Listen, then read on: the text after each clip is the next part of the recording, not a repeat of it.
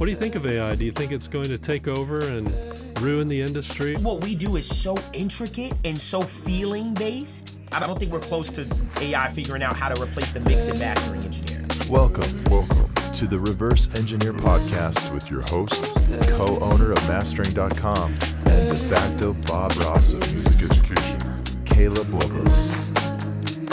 Hey everyone, welcome in. Here today with the one and only Devvon Terrell. How you doing, Devvon? I'm doing pretty good. Um, super excited just to you know nerd out just about what you know what we love to do and stuff like that, and um, yeah, just having a good time, just working with you guys over the course of the last month, and um, yeah, just here to just chat and just talk audio. Yeah, I mean you you've had kind of a a split career in a lot of ways. You've been an educator, but you've also been an artist. Your artist channel is uh, almost a million subscribers now, and you've had Billboard uh, topping songs, and you've done all this, but you also have a great uh, channel for education. Help Me Devvon uh, is the name of that, and you've you've been an educator too. So it's it's been kind of interesting. You have this kind of uh, dualistic career in a way. You're doing a lot of stuff. What is it you're working on? You know, right now. Uh, so right now, um, obviously I've literally just finished up a project, uh, you know, an album from my artist side. Um, and like you said, it's so weird because I do feel like I super do have like two sides of my life, like two completely stark, um, you know, different coins. And um, on my artist side, I just finished up an album, just finished up a project. So everything you could imagine under the sun as far as being an artist, getting that together, you know, rollouts and things of that nature. But then obviously I have the other side, which is the education side, engineering side. Um, and yeah, to you know, have to mix and master. Um, and I just been really just engaged into my channel, just engaged to the you know fanship that we've created over there, just with our own podcast, for instance, with my audio nerds, and just kind of entertaining that space. So, you know, I just been really just pushing forward, man, and just kind of just doing what feels good. Just released the plugin on that side of the Help Me Devvon side, so that's also a fun new thing that we're kind of doing over there. Um, and that's it. I'm really just go, re- honestly, man, I'm really just going my gut doing what feels good and just having fun, you know, and whatever's next and stuff like that.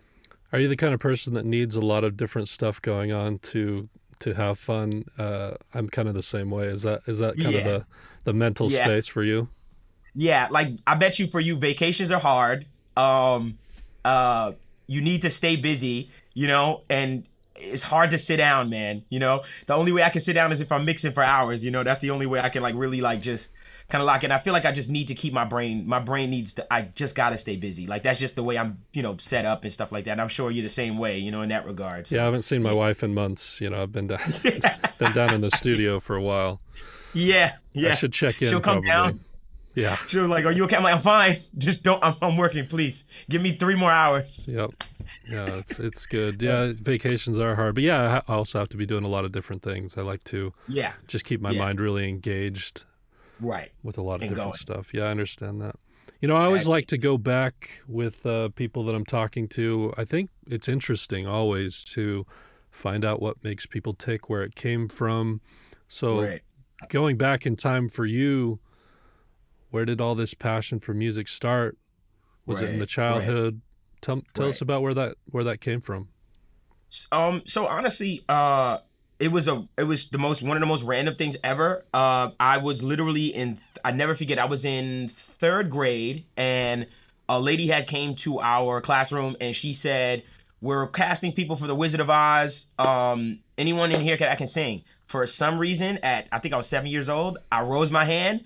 Don't know how I knew or was like, oh yeah, I could sing. And I remember singing and everybody was like, holy crap. And after that, I remember my mom coming to the play after I got the part and she was like, I didn't know you could sing.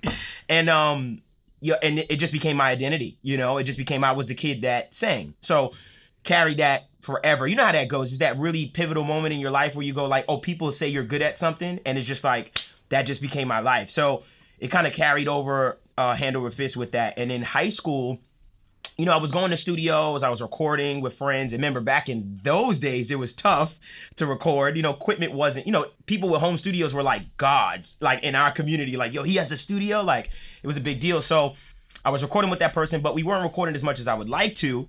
So that's what spawned me saying, yo, you know what? I'm going to learn this myself. And then that part of my life, like, started to get where I was like, you know, starting to get more into like actual learning audio engineering and stuff like that. And so the careers clashed, and then that's how this whole thing just kind of carried over hand over fist. And then that's when I went to Full Sail University to get a formal like education uh, when I first started, because there was no YouTube. You know, this didn't exist. You know, places like yours didn't exist. So that's what I had to do for mine, and that's kind of how my career kind of carried over. Is music run in the family, or where did it come from? Where, where did you No. get this voice? Yeah, no, that's the crazy thing. Like music doesn't run in my family. Everyone in my family is in the medical field. It's it's strange. Uh, I, it kind of this creative thing.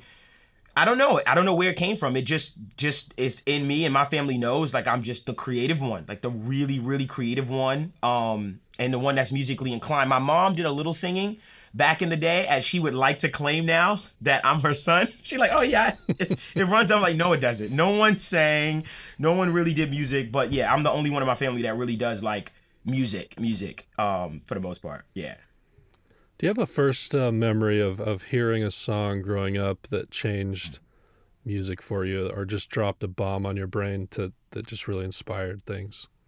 Yeah, it was uh oh, it's such an old song and I'm sure no one knows what it's called. It was called called I'm Dreaming.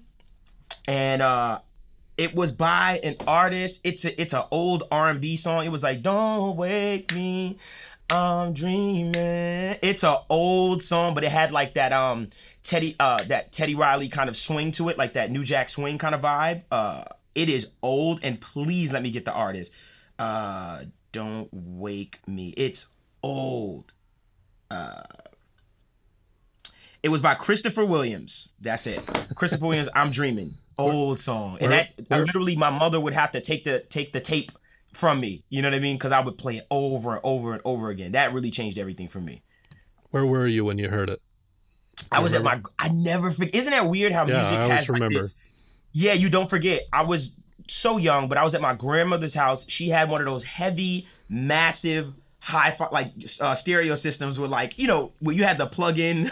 you had to kind of be an engineer back in the day for having audio systems. Um, and it was this system, and man, I just knew how to play that tape. Like that's all I knew. And I was at my grandmother's house, and she had a little living room, and I used to just play it and just dance in the living room all day. Like that song hit for me constantly. Love that. Yeah, I still remember mine front porch of my house. Uh Uh-huh. and it wasn't it wasn't even a great system like what you're talking about. It was one of those Right. handheld recorders for that had Oh, a cassette wow. tape into it. So the playback feature on that was all I had with a, you know, I'm sure a speaker the size of a, a quarter on there. But but I Right. randomly plopped in a tape, and the first song that came up was Bohemian Rhapsody, and it didn't ma- it didn't Mm. matter that that it didn't sound great. Right. My, my mind exploded for sure. Exactly. You like this is look at this. Like what is this? You know, like yeah, it's defining. You know what I mean? Like when you hear something that's really pleasing, and you, I think the curiosity is what it strikes us. Where it's like how, like how you can't fathom how this got created. You know, and then when you learn more about the process, it becomes more intriguing and so on and so on. So I know what you mean. Like it's it's it's incredible. You know, like that's why I love it so much. You've had a lot of success, and you've again had uh, some Billboard chopping tunes and albums that you've released. Yeah. But what's your favorite piece of music that you've ever made, and what makes it really special to you? Um, probably my favorite piece of music that I've made is it was this album that I put out called The Raw Sound Volume One. Um, and the reason why I did it is because I feel like at the time no one was doing kind of what I was doing, and the rollout for it was so fun and engaging that I really just think it um it was probably the most fun I was having just with music. I was literally releasing one song every single week. Um and you know, I released it every single week. Music videos came out with with some of the songs and stuff like that. And on the 18th week, which, which was the last song, I said, "You just heard an album, and I want you all to guess the order of the story of what I just gave it to you." And it was it was just so fun and engaging, and just to watch people go back, you know, all the way back to the winter time. Now that we're in like fall, and say, "Okay, well, this song has to be the beginning," and this it was what made it so fun was the fact that it was so engaging. You know, it wasn't just music, but more or less it was more of a story and it was something that people really connected to. So that was probably the most fun I probably had um, you know, when it came to a project or just creating something in that regard. And I was playing around with the animations, like 3D animations and stuff like that. So it was it was really cool. I had a video game attached. It was it was it was a lot. wow, that's a bit that's pretty ambitious. Yeah. That's cool. yeah, it was. Yeah, it was a lot. So did they get it right? Did anyone kind of uh, nail it? Someone did and I, they won like 500 bucks. They won like a phone call from me and like a, a, a shout out on the album. Like it was like I, you know i mean? I really made sure that whoever did it right you know really got their just dues and stuff like that. So yeah yeah somebody did actually get it which i i feel like they i don't know i was like did you hack my phone? Like how the heck did you get 18 songs perfectly in order? No way. So they got all 18 perfectly. all, all 18 perfectly which was insane. Yeah yeah. They had chats. They were kind of like you know conspiring with each other like no it has to be this this that. it was so fun to see it was dope to see like it was dope and this was before discords this was like in a um they were doing it in facebook group chats back in the day yeah Wild. insane So you have a knack for this uh, kind of uh, content creator position because that's a that's like very very smart. I think anyone Thanks, listening thanks. who is trying to create content, like you just have to make stuff that's really engaging, right? yeah Uh, yeah what what what is your thought process when it comes? It, it seems like um, something's coming very naturally to you. Do you have a, a system for that, or what is it that has helped you be successful there? Um, you know, when it comes to content creation, um, I think what it is is I think my age does come into play because I come from the school of before the internet. Like, you know, like probably like you and I. Um, and we know what it was like back in the day where it was like you had to physically be there in person. I was giving out my CDs. You know, I was always a part of that community. So when I first seen the internet, I gave I went all in. And a lot of my friends were like, yo, you gotta be outside and you gotta meet. I'm like, I'm telling you, I can reach way more people than you in a day on the internet than I can in person with anyone.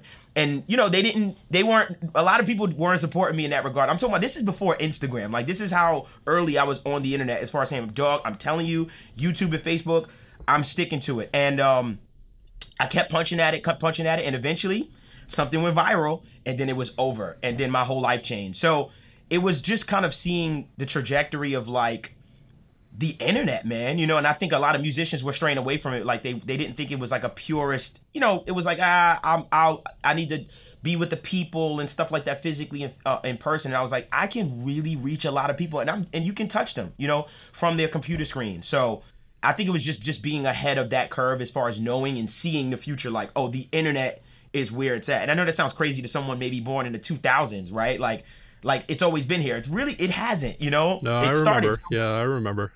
yeah, yeah, I know. Like that's what I'm saying. So um, yeah, so it was just about being ahead and seeing, okay, what's next? You know, where's everything headed next? Yeah, and that was it.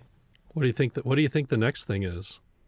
Man, um, it's tough because, and this is a great, this is such a great conversation. So, independence, right? Like an independent artist, I feel like that's the most important part of our, our industry because that's where the rawness gets created. And then I feel like you take that rawness and you polish it with a major or with, you know, with the with the bigger, you know, kind of uh, institutions.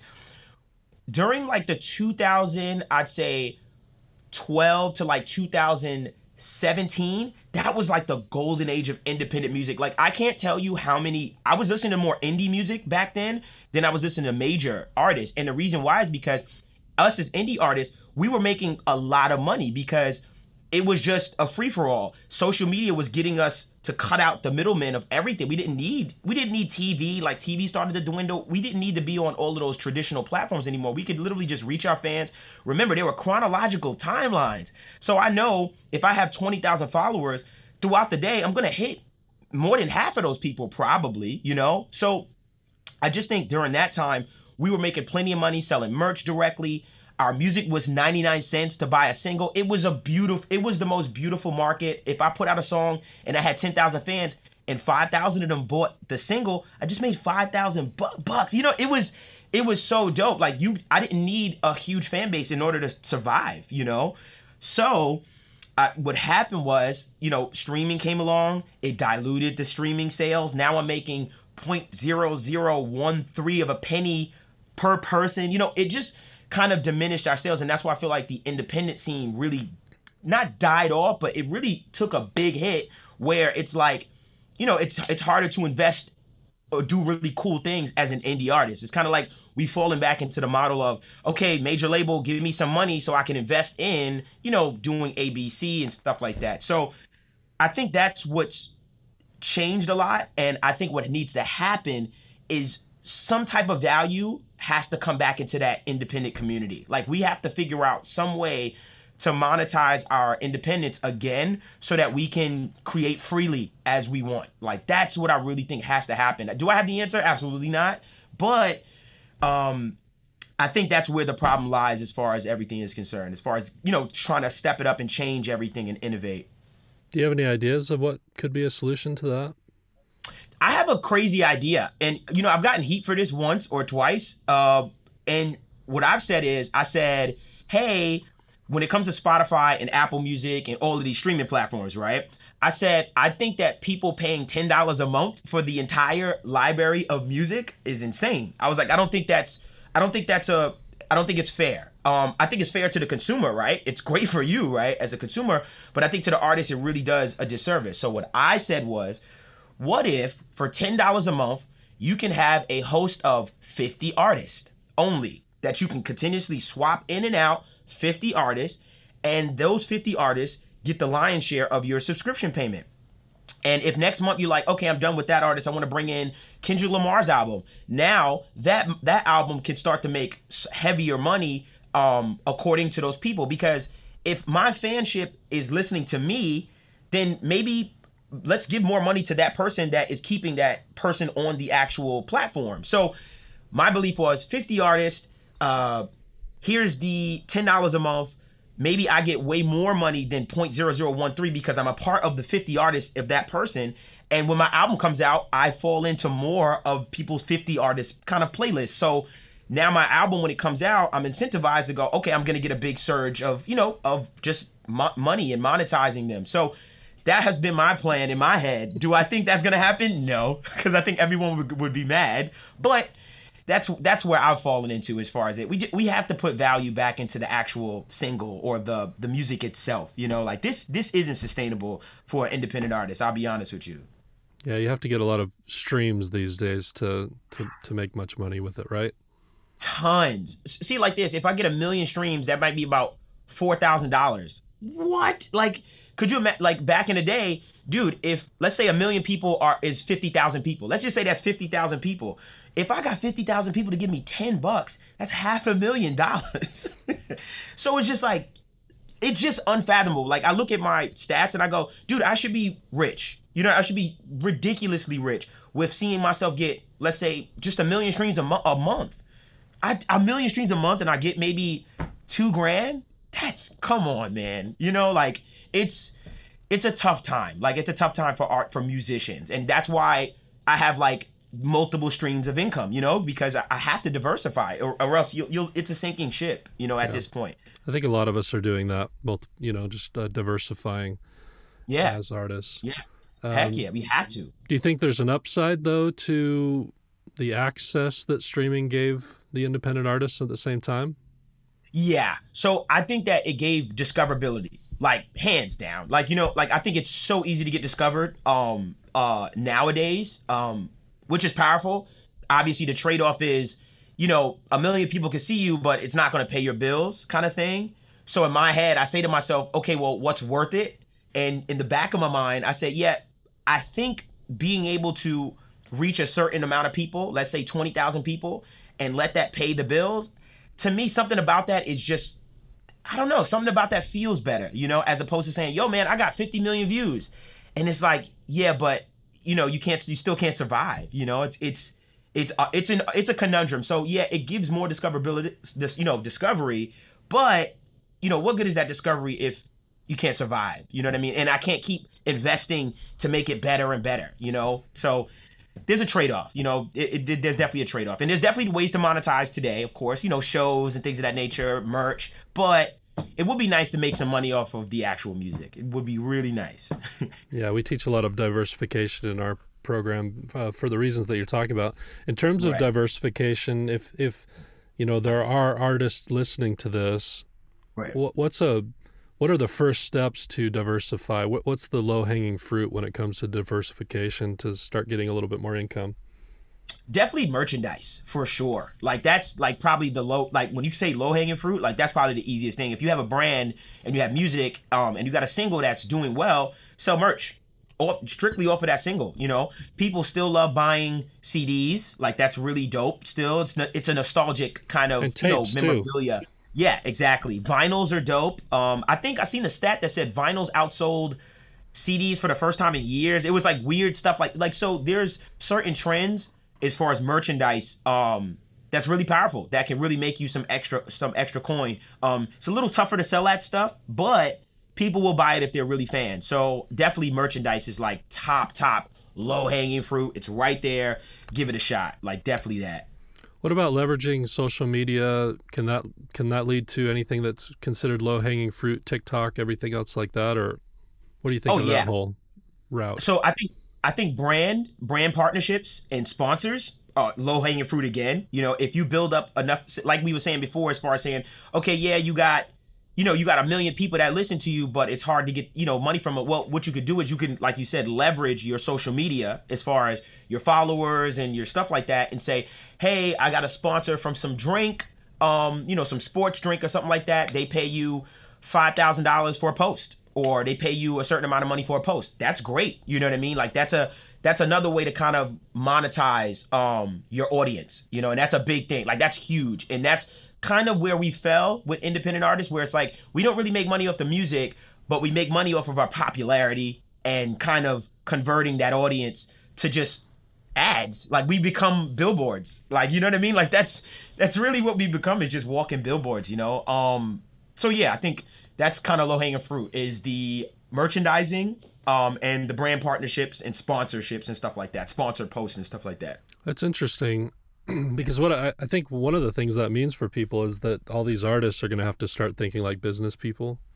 yes oh How and that's the thing And how does that change when you have have to have more of a business mindset when it can't just be about music? Does that Right. change the artist? That does that change the music?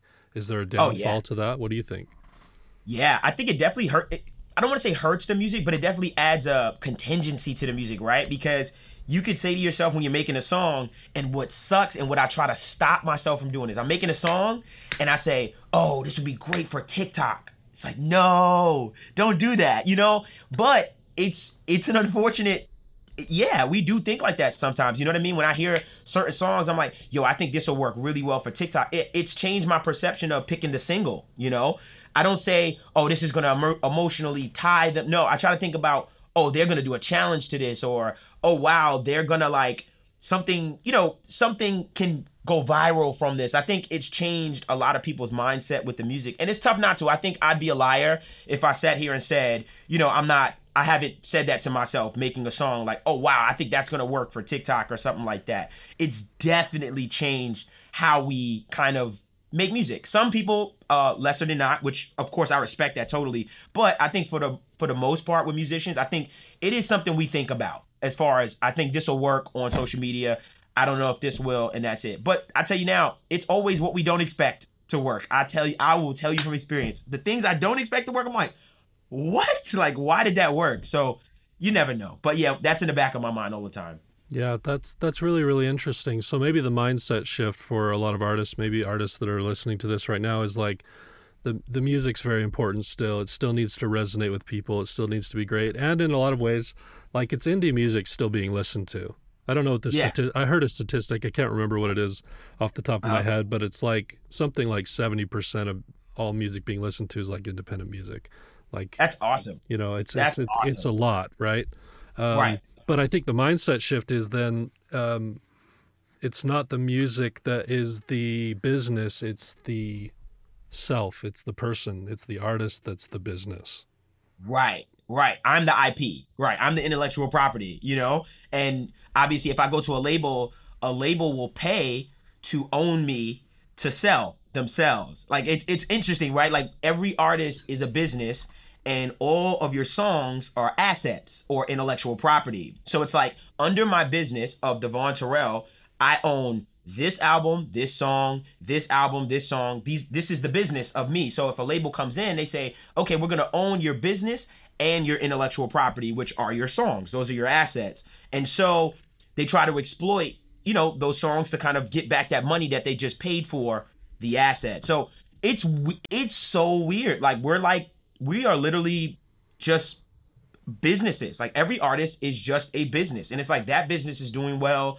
This one has one asset that's like, you know, makes a lot of money. Like we want to jump on this to see if we can kind of expand that business. So I keep that in mind too, as far as how a label thinks, and they see each one of us as a business. Like that business, like the, you know, has assets. It's the songs. How much? How how many intellectual property pieces does this business have? You know, I have a huge catalog, so that looks attractive to a business. So yeah, we become businesses straight up. And you're following. That too, right? right? The business already has, you know, a, a a loyalty, like a customer base. Like I'm trying to change the words, right? Like kind of shifting it that way. Like, okay, here's my customer base, you know, that are loyal customers. Yeah, exactly. So that's the mindset shift, I think. People need to yeah. start utilizing, owning that intellectual property, creating great stuff, right. but also having a following, keeping track of a following, engaging right. a following, and then right. that's your value, right? As you yeah. approach uh, businesses and brands and different things will pay you a lot of money actually if you leverage it the right way to do yeah. that. And the music yeah. that just becomes like a top of funnel, like attractor. Right, right. It's a scraper. It's just I'm just I'm just gaining attention, you know, for to, to get them down here. Yeah, it's like the music is just like bait. It's like I'm fishing every day I'm gaining 20 new fans. It's like that kind of thing. It's like, okay, I'm just looking for 20 new fans every day to bring into the ecosystem to to kind of, you know, monetize and stuff like that. So yeah, that's what it's kind of become. Just become scrape. Music has just become the bait, you know, at this point. And the more your music can resonate with people, the the faster this can grow. But oh, just quick. taking the music and leaving the rest of it probably won't lead to much of a successful career at all. Yeah, which is wild. You know, maybe it'll satisfy you as a person. Mm-hmm. Great, mm-hmm. but That's if we're talking about a business, yeah, then it's a, it's a different story. You know, as far as surviving and stuff like that, for sure. I love that. Yeah, I think that's important stuff, and uh, it's hard. I think for the artist mind to sometimes think like a business mind, right? Yeah, not everyone has both. You know that duality. You know, it's it's kind of it's and I feel bad because I know I think we both know a bunch of talented people, you know, but they just need help, you know, and n- not everyone wants to look at analytics and data. Like not everyone wants to do that. You know what I mean? Like it's daunting. It's a daunting task, but if you had the right team and which is not easy to find, you know, um then you know that artist can flourish. But I think not everyone wants to do that, especially on an independent level. A lot of people probably don't believe in you yet, right? So you're probably doing this stuff by yourself. So you get stuck in that place of, you know, having to be everything, you know, and that and that's a lot. You know, doing contracts with producers like that is a, you know what I mean. That task in itself, I hate that task. You know, like it takes the fun out of everything. When I'm talking to the producer, we did all this music. Now we're like, okay, well, it got to be 20% on the pub, 30% on the writers, and then we'll do the splits this way. That is, I don't want to do that, man. You know, I just want to make the music and put it out and just enjoy the, you know, the feedback and putting the art out there. But we have to now, have to. So there's this whole need probably for a lot of uh, artists coming up, uh, business coaching, you know, and uh, oh, yeah. lawyers and different things. People need to really engage with that sort of uh, learning and and those types of relationships because uh, I just think it's really hard for a lot of people to transition from that artist mind to the business mind yeah. without a little bit of help. Yeah, yeah. You, I mean, the lawyer thing, you know, like that is, uh, that's a tough one too, because a lawyer costs a lot of money. It can, you know. So, you know, you tell an average guy, and I remember when I was 17, when I was 19 years old, I remember I got a deal from, I got an offer from Universal Music. It's my dream, right? I'm 19. I'm like, oh my God. I went to the office. They showed you around, and I remember my mom, that was, you know, my mom, everybody's mom is their manager at 19, right? um, we went in there and they were like, great, we're gonna send you the contract. I'm like, oh my God, I'm about to get a contract, I'm about to get a deal, you know? Um, and the contract came in the mail and it was 27 pages long. And I remember sitting there with my mom, my mom was like, I don't know what this any of this means. And I was like, what do we do? So we went to a lawyer, and the lawyer said, "Hey, if you want me to look at it, uh, we want two thousand dollars." And I said, me and my mom was like, oh no, what do we do? And I cried about it because my mom knew better. You know, thank God. My mom knew better. It was like, we can't sign this without understanding it. Like, we don't know what this means. So I want him not signing it, which was the greatest decision because I'm going back to that contract and going, oh my God, I would have been in that deal probably to this day, you know? Um, so it's things like that that I think we're not realizing, you know, people are dealing with on a day-to-day basis. You know, when you get a contract from a from someone in a position of, you know, not having a lot of money, you know, you get you can you can get in a really bad situation that'll just kill your entire career. So, you know, that that's something that I think we need to figure out on the independent music side as well, kind of getting people help, you know, as Yeah. far as that's concerned on the legal side.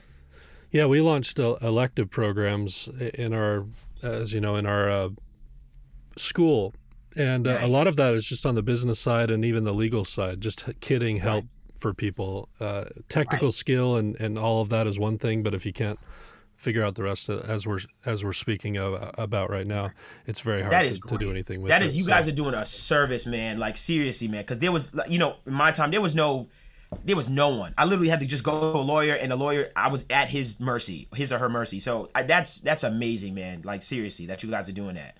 Do you think people can can do this on their own, or do you think people still need major labels? What's the power of the major label in in modern music industry? Um, I think the power of the the label is money. I'll be honest with you. You know, they're the banks to me. That's how I see them as banks. Um, I think that they use or they have access to a lot of backdoor things. Um, I know this from experience. You know, I've been on labels and stuff like that, and some of the things that they have access to, I'm like, oh, I can't get that. Like, you know what I mean? Like, even if you have the money, um, there's certain things on the back end that we just don't have access to as as independent artists, which is powerful. It doesn't mean it's impossible to still cut through. Of course, we see it all the time on TikTok and stuff like that.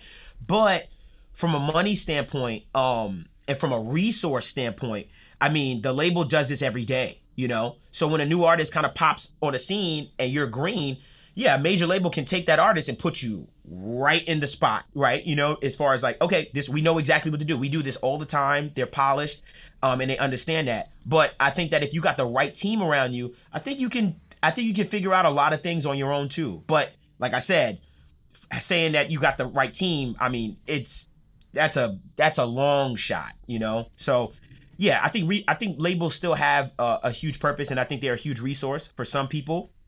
But I still do think it's possible on the indie side if you are well informed, well educated, and you have the right team, which is a lot of boxes to check, to be honest. Sure. Yeah. I mean, a lot of people say the the uh, l- the labels are dying, but you you think you believe they still have power.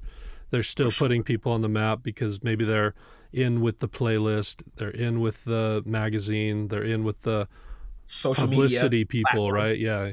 Yeah, yeah, they're in. They they they're in. TikTok, you know, they see it like this. What people don't realize is something like TikTok, and the reason why TikTok can license all of that music from the major labels is because the major labels allowed it. You know, so in the back of my mind, do you really believe that there's no incentive with that relationship where it's like, okay, cool, we'll let you license it, we'll give you a deal, you can you can play this music on your platform.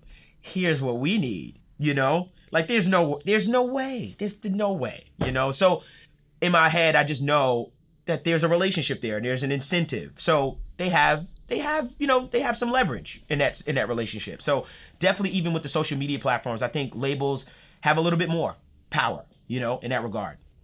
Got it. Yeah. You've been uh, moving and shaking the industry up with uh, a lot of your ideas that you you've come out with. You're making plugins. You're teaching people. Do you feel like there's a concept that um, what what what's the greatest concept that you've contributed to the collective consciousness of the music industry? Um, ooh, that's a tough one. You know, you know, you know what I think it is. I think it's um, it's about being unapologetically just you. You know, um, and I say it in a sense of, you know, when it comes to music and stuff. A lot of us a lot of people believe that you got to be this the coolest person in the room that you have to be super smooth um super mysterious and stuff. And i think that for me personally i think what shocks people wh- wh- when they look at what i do they're like man he's just kind of just being himself. And the person i see on social media is literally the same guy that i meet you know? And then you know, with the music, you find out this dude's a nerd. He has this teaching thing on the side. It's like, you know, I, I think I've I think I personally show people that, hey man, you could do anything you want. There's no limits. You can be successful on this side of the coin and also this side of the coin. You know, I've I've, re- I've been blessed enough to even have a publisher that I get a lot of sync placements for TV and film. So I've had a bunch of sync placements for TV shows, um, you know, ads, product placements, and I think that my fanship seeing all of this, they just accept me for just, yo man, that's just Devvon, and just Devvon just does just what he does, and you know, and I think that that's been my biggest thing, just being all around, you know, and not being afraid to say, well, I don't want them, I want to keep this separate and keep this separate. I don't want them to know about, you know, ABC. I think I, I've done a really good job of kind of being able to dip into different things, but it still all feel like you know, cohesive. Like you just come to me for me and that's it. So I think that's been my contribution from a standpoint of, okay, well, what is that career like, you know, as far as what I've given and done? Right. Because if authenticity, I mean, if, if the artist is the product, right? Right. Then authenticity, people are going to connect with that, right? It's not something Hands, to run away yeah. from anymore. You don't have to have this rock star persona anymore, like maybe Yeah. you felt like you used to have, need to have back in the day, right? Yeah, yeah. You I mean I play video games with my fans, you know? Yeah. Like Yeah, I know you're you know- you- you're just a big a big nerd. You kind of lead into that a little bit, right? Yeah, seriously, man. And guess you know what I always tell people? Guess what? Other people are this way as well, and they're gonna connect to that. You know, so that's why I say, you know, be yourself.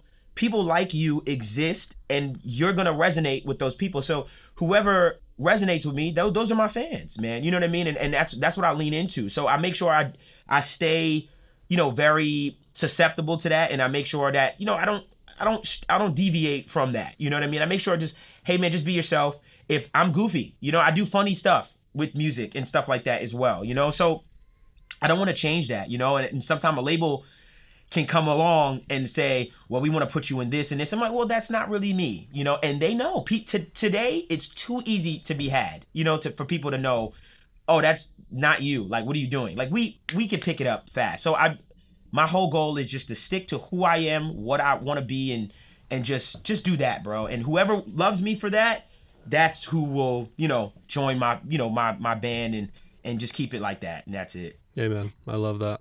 Yeah, that's Yeah. great. Yeah. So you educate a lot of students. Um, Mhm. You probably see a lot of people getting frustrated sometimes, not being able to progress in their career. Obviously, you, Yeah. I know that you, and I know you want to help people progress, and that's something you really care about. Again, you've you've come into our ecosystem. You've come into the Mastering.com reverse engineer program. You've worked with students there to try to uh, help you know increase their skills and and Right. is there what's the what's the biggest excuse you hear from students that you think Mm-hmm. are holding people back in their career for music from a from an engineering standpoint or from a artist standpoint? Like or just in general? Yeah just in general in terms of a, a music career. Or if you have different answers for each of those go ahead. Gotcha. You you know you know what i really think it is? I think i think the biggest excuse people have is time. And when i say time i say when someone says yeah i would love to do this more but it's like nah man you know i i I hear you. I really do. But I think about my career early on and how much sleep I lost and how tired I was every day. And, you know, I had a nine to five. I was running my studio also after my nine to five. And then after I ran the studio, I, now I can work on me, on my music, you know, and then do it all again. So, you know, I I think it's just about sacrificing your time and making time for what's important to you. I think that's the biggest excuse for a lot of people where you know, you think that you don't have the time, but time is really what you make it. You know, you can figure. I'm as a human, you can figure it out, man. You know what I mean? Like if you say to yourself, "Well, okay, I need to get my nine to five to make money to fund my music career," then that's just what you got to do. You know, I got a lot of friends now that I, you know, they don't have any job at all, and their excuse is, "No, it's because I'm trying to just do the music full time." I say, you know how you're holding yourself back?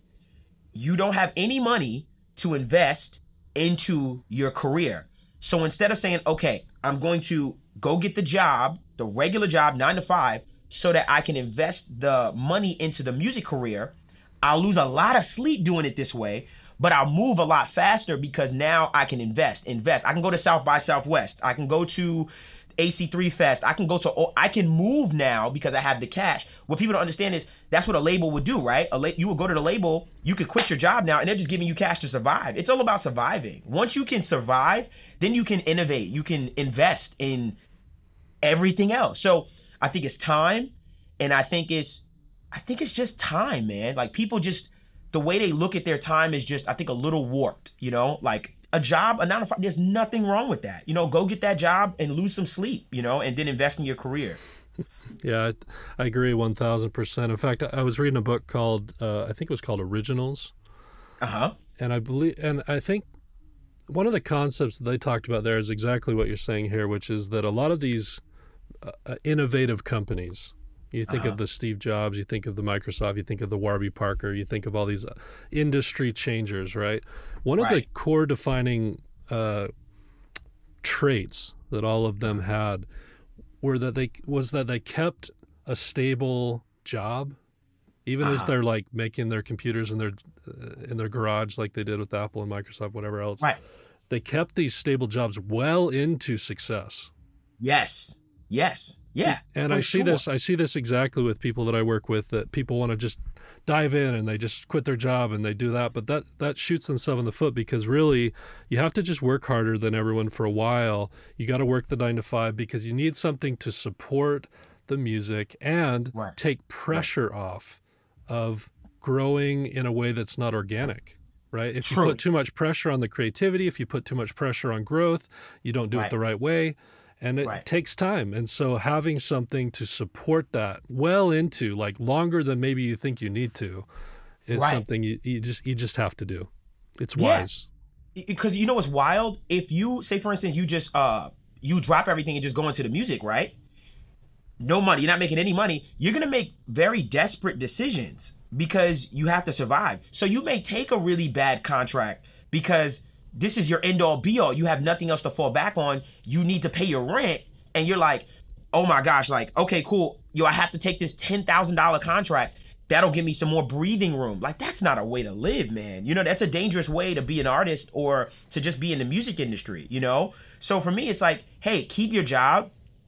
As long as you know your bills are paid and stuff like that, you're not as desperate, you know? And a desperate person is a dangerous person, you know? You can make a really bad mistake being desperate. So I think there's a mindset to it all, you know, of just doing it and structuring it. And having a job is not there's nothing wrong. There's nothing wrong with it. I tell people all the time, there's nothing wrong with it. Nope. Have something to support it. And I, I think yeah. maybe some people like hear the story of the one person who like, I'm gonna quit my job and just go all in and then they get found by some label and everything right. blows up. And that's the point zero zero zero zero oh. one percent minuscule. And everyone else, you just need to be smart you have to think yeah. of this like a business. You have to support your business. You have to financially right. support it. You have to give it time right. and growth and launchpad and ramp up and right. you have to think that way. It's not just some magical dream where if you quit your job you're going to be famous tomorrow. You have, you just have to be oh, smart yeah. with it. Yeah, you got to be real strategic about it. I think a lot of people I see what I always tell people is, yeah, you hear about the success stories, but what you don't hear about are the failures. How many? There's way, bro. Let How me tell many? you something. Not we don't make stories about failures. You know, we don't make movies about people that you know about huge failures that went nowhere. You know, so I always tell people, I'm like, yeah, you hearing that success story, that's how they did it, but that's a shot in the dark, man. You know, like what's the chances of that? You know, of, of that happening that way? You get lucky, but I mean, lucky is lucky. You know, I don't know if that that same kind of thing will come to you. So you got to be careful. You know, you got to be you got to play the game smart is what I say. Be safe, but also, you know, take risks and lose some sleep. That's what I always tell people. Lose some sleep, man. You got to lose some sleep. Like it's okay. If you're going to be successful, you got to lose a little bit of sleep. You oh, really yeah. I mean, it goes back to foundational principles that have always been true. Work really mm-hmm. hard, work really smart, yeah. you know, all, right. all that kind of stuff. And and I think maybe the industry is suffering in a way from people feeling like it's too easy in some ways, and that and that's more than just the business. Right. Like we're talking about here, like quitting your job and thinking you're going to be famous, but also in just how you're learning the the skills of songwriting, engineering, production. There's too many quick fixes. There's too many tips and tricks. There's too many right, right presets and templates and stuff like that. And what people are yes. forgetting about at some level is just like, no, you actually have to become a wizard. Like you have yeah. to know this stuff really, really well. on a Yep. In foundational level, right? And I think Right. you know a lot of the people I see that are really stuck gave in to too much of the quick fix, and now they've Right. progressed as far as they can, but they're hitting a wall. Yeah, because the fundamentals aren't there. You know, the they don't like I said. and, You know, even in the classes that we've been, you know, you, I've been teaching within Master.com. I always keep repeating, "Hey, ask yourself why you're doing that. Why are you reaching for that? Why? Why? You know, why is the question. You know, because we tend to, and I've been a I've been a product of this too, right? Like back in the day, where it's like I'm making decisions based on things that I've learned but I'm not really asking, okay, well, why am I doing it in this scenario? You know, I'm kind of just like, oh, well, Dave Pensado did it that way because that was the first, that was the only guy that was doing videos back in the day. So I would see Dave Pensado boost 10K on the vocal and I'd be like, oh my God, so I got to boost 10K on the vocal every time. And it was like, yeah, but I not, didn't ask myself, hey, does it need that? You know, like it, it- you know, so yeah, Yeah. fundamentals will root you uh, in a better place to grow as opposed to the quick fixes um, with no fundamentals like in place for yourself. Like if you know quick fixes are great when you just know the fundamentals. Right. Like, oh, that's a great way to do it. Like me watching quick fixes, I'll take your quick fix and and dissect it. Like the other day when we was in the class and you were like, "Hey, why don't you sidechain it?" Uh, remember that sidechain, Yeah. Mm-hmm. the dynamic EQ? And I was like, "Oh my gosh, that's a great idea." I, I agree with you 100%. I, I remember back in the day watching YouTube videos and you watch this cool tip and then you go back and try it in your own DAW and you're like, why does why isn't it working like Right. they said it would, right? right, right, that, that wasn't the point of the tips and tricks. And I agree with you totally. Once you have that objective foundation, then the tips and tricks can be meaningful. You know which ones are BS, you know which ones are great, you know which ones are time Right. saving. You can navigate the world of the tips and tricks on YouTube. right, But Right. but a lot of people think that that's the answer. right. When, when exactly. in reality, it's the foundational stuff that hard. It, there's no way to get that stuff without just hard work. Yeah, for sure. And you, you know what I always tell people? I say, well, the reason why you don't see a lot of tutorials or review or you know the quick, you know how we work on um our socials, it's not sexy enough. You know, it doesn't get clicks. When I'm saying, okay, this is what, you know, this is what the attack does on a compressor. It's like, you know, it, it's it, it- what is compression? Like those things aren't salacious enough or, or incentivized enough on YouTube and on the algorithms for people to just grab fundamentals. Fundamentals aren't fun. Like we always, even with basketball, we've always looked at fundamentals as boring. Like, yeah, he's a fundamentals player. He does his thing. Like, look at Tim Duncan, right? If anyone knows basketball, we used to look at Tim Duncan as, yo, he's so boring to watch Tim Duncan. But then he has 30 points, you know, and he was a called a fundamentalist. Like he would just fundamentally play. So it's it, to people it's not sexy enough i think you know all of this, all of the uh, Spurs under Coach The whole team. I- I wasn't sure if you knew. They were all fundamentals players. Yes. but they were great when they when they put them all together. But right, right uh, right no, but I- they were fundamental players people always said like oh san, san antonio's not fun to watch but hey they got five championships or four championships you know so it's like i mean you know it is what it is you know they know how to win a game and it's, that's where the fundamentals being rooted in fundamentals i think is a good that's a good analogy for fundamentals being rooted in it yeah, yeah, for sure. I totally agree. I wish more people would invest time into that stuff as opposed to Right. the to the preset or the new plugin that's going to change everything. Or and, Oh, uh, you and know, we have a uh, lot of them now. Yep. Yeah, like one button, like one button um, uh, uh, plugins. We got a ton of them. Like you know AI and man, we're entering a whole new world, man. Like it's it's weird, it's scary, and it's it's interesting. But I know you know what I mean. Yeah. What do you think of AI? Do you think it's going to take over and ruin the industry, or how's it going to go, man? What do you think? You, know, you know what I think. You know what I really truly think. I think that um, I'm I'm worried about it from a production standpoint when it comes to AI. I think producing wise, I'm worried about it because I think I think at some point, and I know some programs and apps um, that can give you a great feeling bass. You know, if I say generate a bass with a performance, I know some that can give that can will, will give you something great. What I think about on the mixing and mastering side is, I don't know. I think what we do is so intricate and so feeling based that I don't think an AI program can just say, okay, well, let's get the bass there, the mid range there, because there's no right or wrong way to really for a mix.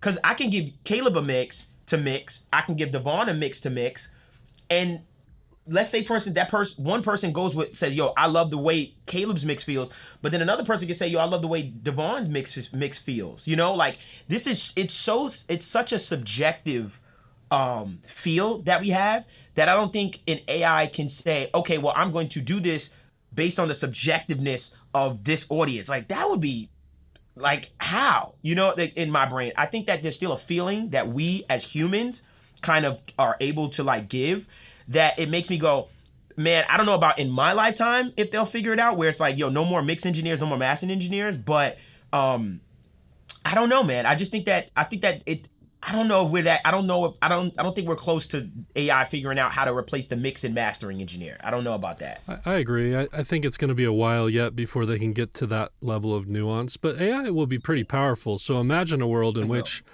they get that kind of nuance. Do, right. Do they take over then? I, I think you know why I think so?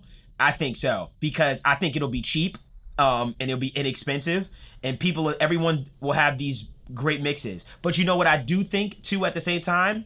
If technology gets to that point, knowing humans, I think mix and mastering engineers will step it up to just alter everything as far as like, okay, how what can we do that this AI can't do? You know?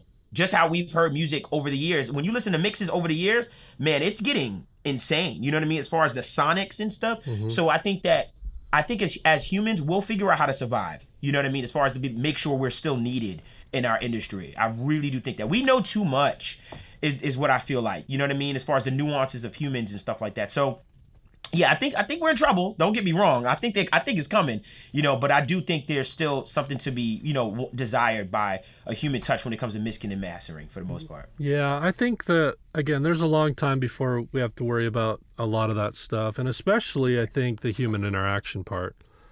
Like yeah. even if a robot was good enough, uh-huh wouldn't you pay a little bit more to have a human interaction maybe? For for for some people for for the people who really care about their music who are really passionate about it right. like that's always been a part of music. I think people will still want that even when robots get good enough. Yeah. And you know how you know that? Um we can look at something like a like a LANDR, right? That does like the automated mastering and stuff like that. It's been around for years like years and years and years. But has everyone shifted that way no, I don't think everyone should. I think there are select people that use it, right? Um, but it hasn't taken over. You know what I mean? It hasn't really taken over the entire industry. So that is a is a nice kind of indicator for me to say, okay, there's still something people desire, you know, from a from a human. You know what I mean? In that regard, that it hasn't figured out. So yeah, there's there's light at the end of the tunnel for it uh, for me personally, as far as just thinking that you know AI is just gonna completely rip the mix and mastering engineer out the equation completely. Yeah, I mean, and I teach my students to to give you know when the, when they're doing mixes for people, when they're doing masters for people, they're giving you know feedback, maybe some free right. mix notes from some free production notes. If you do this couple changes here, the mix could be better, and I can make right. the mix better. Or if you do these couple mix notes, I can make the master better. Again, right. once again, that's going to be a long time before there's an AI intelligent enough to to give that kind of human interaction back. And so I think yeah. uh, the I think we as humans are good for quite a long yeah. time. I think we're good. In our lifetime, I think we'll be okay. You know, yeah. one beautiful thing I will say is how we personally, as mix and mastering engineers, uh, we do use AI from time to time, or just the advent of technology. For instance, uh, let's say like tonal balance control two, right? I'll they have an option where you can import an MP3 of any song, commercial record, and it'll give you a curve to show you the balance of like, okay, this is how much it's hitting in the low mids. Here's how it's hitting in the highs. I use that sometime and I'll say, okay, let me see their curve and then compare it to my mix curve and go, oh, I need some more high mids. Cool. Boom. Just to kind of compare it and match it. So I think also that's why I say I think that mix and mastering engineers will find a way, man, just to kind of like even use the tools to kind of go above and beyond to be even better. You know what I mean? And just and just do cooler things. So I think that as the technology grows, the music will grow and will grow as engineers and stuff like that. Yeah, maybe we'll integrate with it in the ways that are technically meaningful, but still have the subjective human interaction part, and then we're able yeah. to just go to a crazy level sonically. Yeah, yeah. I think we'll become pretty. I think we'll become very symbiotic with uh, AI and technologies as humans. Like us, I think we'll just join forces and make it even better, and that'll be it. I really do think that. Yeah, yeah, I tend yeah. to agree with that. I'm not. I'm not too worried about it. I think there's. Yeah. I think there's good things ahead. A lot of people are, are really worried about it, and even when it comes to AI creating music. People are like, Mm. "Oh, they'll just create all the music. No one will create music." What do you mean no one will create music anymore? Are people creating music because AI is not creating music? Right. No, they're creating Right. music because they want to create music. And we connect Right. with people because we want to connect with people. We want to connect with a human being. Just like you said, the- artist self, right? That's what we're attracted to. We want interaction.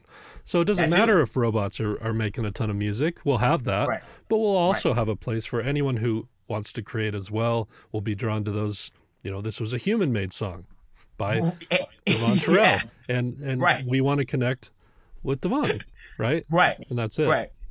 Isn't that wild where maybe in the future there may be a Spotify section where it says AI generated music and then it's human made. And it may be a there may be a you know like a a more pure stamp like I only listen to human music. You know like I, I- that could happen It's like man. you know like that oh, they only listen to records now. They only listen to vinyl. They don't Yeah, listen right. to anything else, right? It'll be like Right. that. Right. Where human music will be a, a niche. like, hey, it, you know, it could, you know, it could happen, man. You know, and it, we just got to be prepared for it. But you're right. I don't think we're not going to stop making music. This thing is in me. I don't care if AI was just, you know, killing the charts or anything like that. You know, I, I'd still make music, man. Like, there's no way you're taking that from me. You know what I mean? So I don't, once again, I'm not, I'm not worried about it. Um, because I don't think my, I'm not trying to, you know, like my primary goal is like I want a number one record right now and stuff like that. I just love making music, man. You know, um, and that's what I've really just stick to and focus on. So no one's gonna take that from me. I know no one's gonna take that from me. You know what I mean? I'm gonna be able. To, I'm going to be able to make this music, like no matter what. And whoever listens, listens, and that's it. But as far as the commercial game and charts and stuff, yeah, that's another story. I I, I can see what's going on for the most part.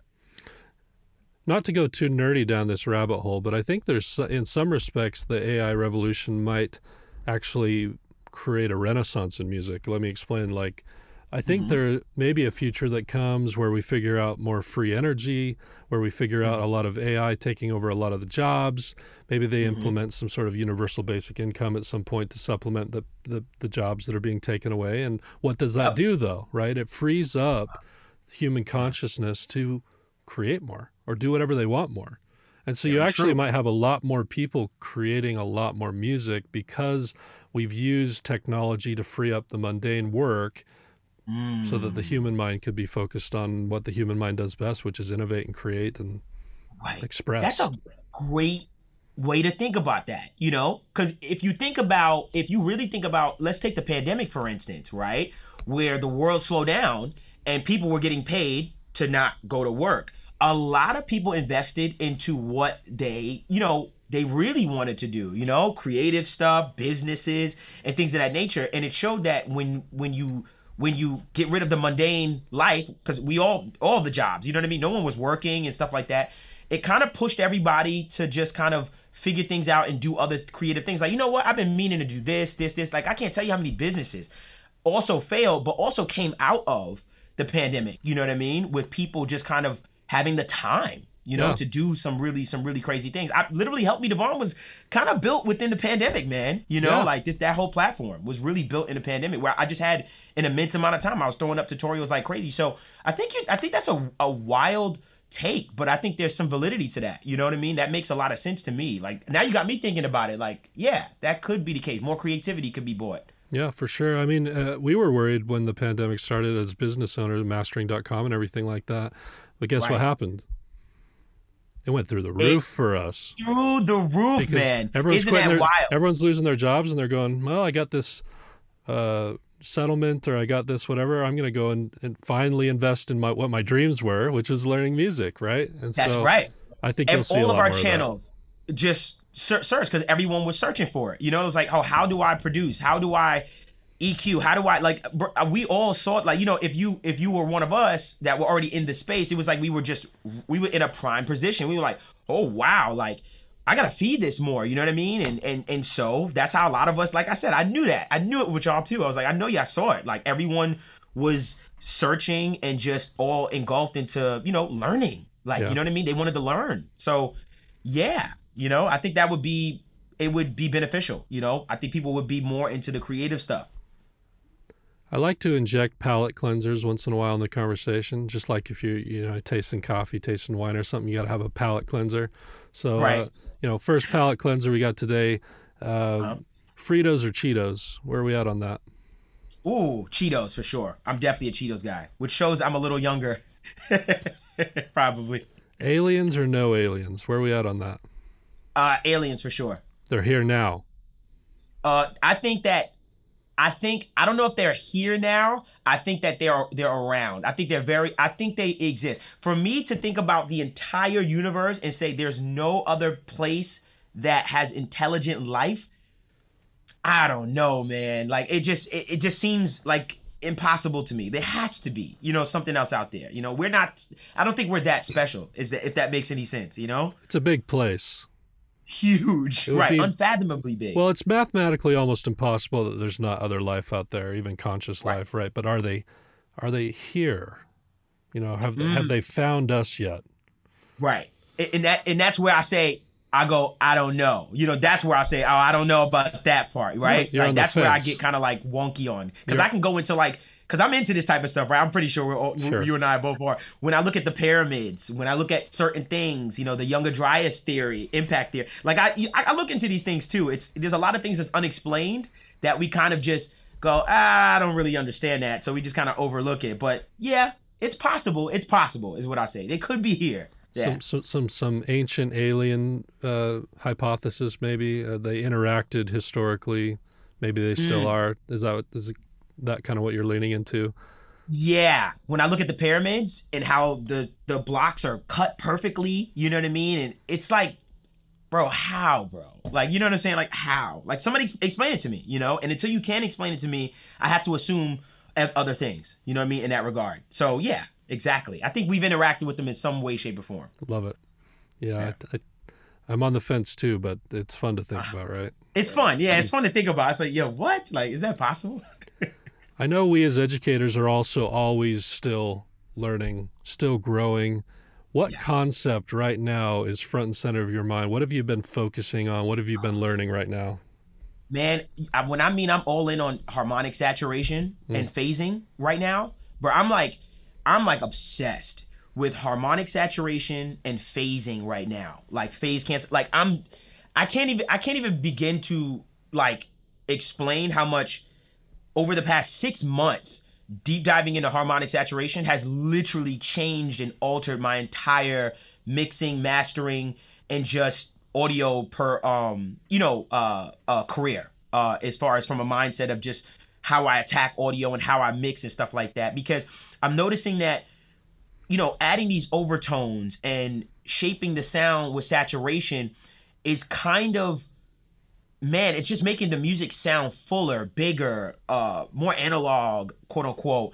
Um, and it's just changing the way I'm thinking about uh, mixes and how I'm bringing more life and more realism to what I've been doing. So analog saturation, emulation, you know, emulation or just saturation in general has been my top of the list, along with phase. Phase has been a real big thing with me right now too, as well. Would you be able to dive into that a little bit, master classes for a minute? Uh, what, like in in particular, like what have you been learning that's that's changed your mindset about things? Yeah. Um, you know, you know what's changed my mindset is I've been noticing so this is this is what's been destroying my mind, like just making my brain explode, which I'm still kind of diving into, is I found uh certain groups of plugins, or basically I figured out that my goals with saturation is to add perceived loudness or perceived perception without that meter moving an inch. Like Or- that's been my Coming down.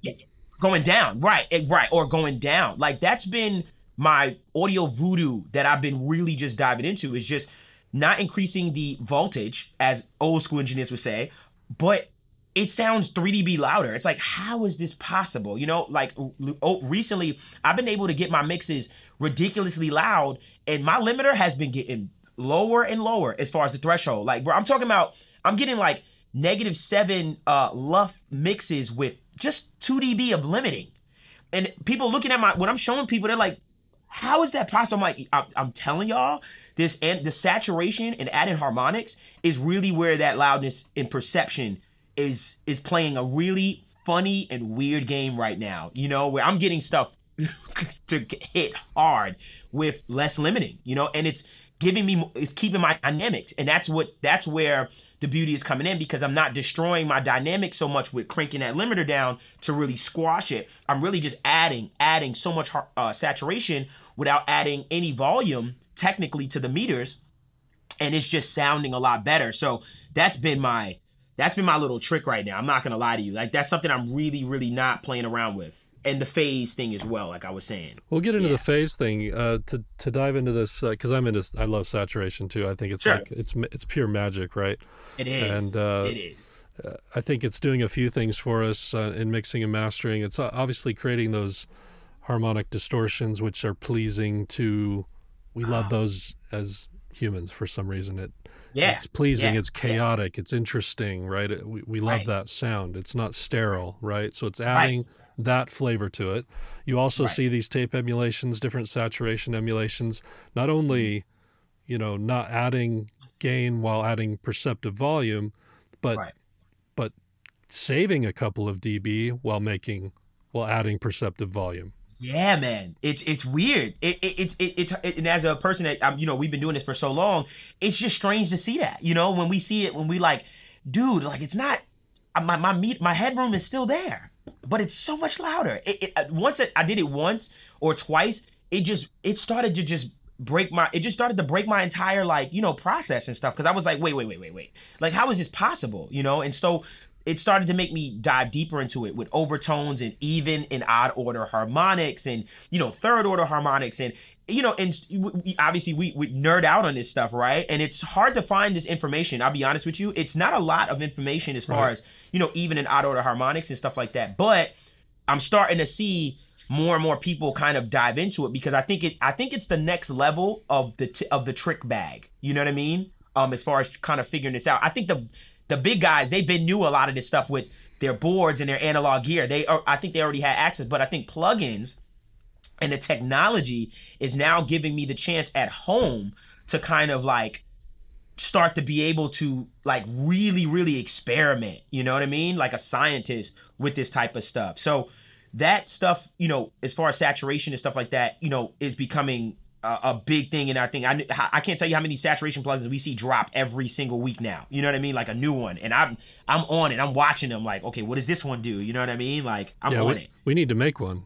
Sounds like. Hey, I, hey, I, listen. I've been thinking, bro. I'm so ahead of you, bro. With that, I've been thinking about it. I've been like, listen, Yeah. I'm trying to get into the game too. Like, I know what I like out of saturation, so I would definitely create something in my likeness that I would like. Like, I'm a big fan of even order, uh, even order harmonics. Like, it's so pleasing. It sounds musical. Um, it, it's interesting. Like, you see, even my brain is starting to go like, okay, I like even, uh, as opposed to odd. Odd is great too for you know certain things.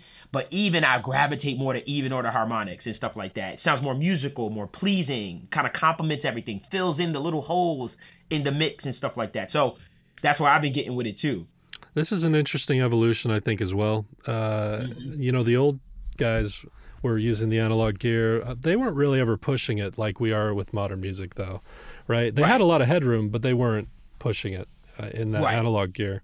Uh, But now what we're doing is we're using that analog, natural analog compression and harmonic saturation to give perceived volume, save headroom, and what what that means for me recently, if you want to peek into my brain, is that I've been using a lot less compression. Yeah, yeah, I get that. I totally understand. What what is some uh saturation plugins uh that have been go tos for you as of recently? Like, what are some that you know you just feel like you know some of the go tos that you've been using as of lately? Yeah, I mean it's hard. I I, I really do love the Saturn, the FabFilter Saturn. That filter. It's on almost every master that I'm doing right now because I'll put it on Right. and there's it sounds better just on the basic setting, just like the Right. the warm tape or whatever that first one is. Saves it like knocks two dB of headroom down. It just Right. subtly kind of saturates everything in a pleasant way. So it's Right. naturally compressing. And then what I'm doing later as I'm going and I'm I'm just using a limiter or maybe I'm using two limiters instead of a a, a compressor to really Right. just like get that big big big sound. There's not a lot of compression. There's nothing being tamped down at all. That's Right. in in a, other than that uh, saturation plugin. So I use that Right. one a lot. There's always like Right. the J37 tape plugin that's always great. Um, Right. Man, I just I have so many saturation. Yeah. It's my favorite. I bet. It's my We favorite all do plugin, too. right?